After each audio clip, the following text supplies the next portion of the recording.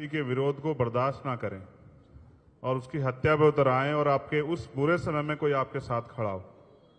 मुझे कहने में कोई परहेज नहीं है कि जब 21 तारीख का हम लोग दिल्ली में प्रोटेस्ट कर रहे थे, मेरी एक बार की बात पे दीदी ने अपनी पार्टी के चार चार मेंबर ऑफ़ पार्लियामेंट को वहाँ भेजा और अन्याय के खिलाफ उस आवाज़ को बुलंद किया जिसको आज हम देख रहे हैं कि देश भर में किस तरह से लड़ने वालों के साथ अन्याय किया जा रहा है। किस तरह से CBI ED income tax NIA झूठे मुकदमे, जेल, जो लोग देश के लिए लड़ उनको डराया जा रहा है।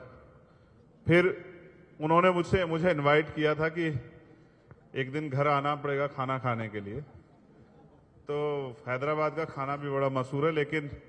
उससे अच्छा ये है, जो हमारे पीछे हम लोग देख रहे हैं। इसकी टोटल ऊंचाई है 175 फीट टोटल नीचे से लेके ऊपर तक। अच्छी बात यह है तेलंगाना में कि सिर्फ़ यहाँ बाबा साहब अंबेडकर की स्टैचू नहीं लगाई गई। उनके विचारों पे भी कि ये वंचित वर्गों को अपलिफ्ट करने के लिए भी बहुत बड़ा काम हो रहा है। पिछले दो तीन घंटे मैंने जाना किस तरह से यहाँ की सरकार, इस प्रदेश में हाशिए पे जो समाज था,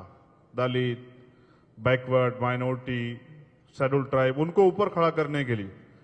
उनको मेन स्ट्रीम में लाने के लिए किस तरह का प्रयास कर रहे मुझे बड़ा अच्छा लगा कि इनकी करनी, कथनी और करनी में ज़्यादा फ़र्क नहीं इनकी कथनी जो है, उसी तरह से ये लोग काम भी कर रहे हैं।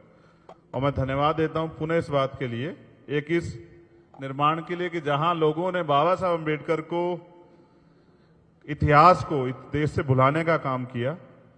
इतिहास में जहाँ पढ़ा जा रहा था, वहाँ से हटाने का काम किया, वहाँ आप लोगों ने इतना बड़ा जो है बाबा साहब अंबेडकर का स्टैचू लगा के ये साबित किया और फिर इसके बाद बराबर में ही हमारी जो सेक्रेटरीट है, उसका नाम ही डॉक्टर बाबा साहब अंबेडकर के नाम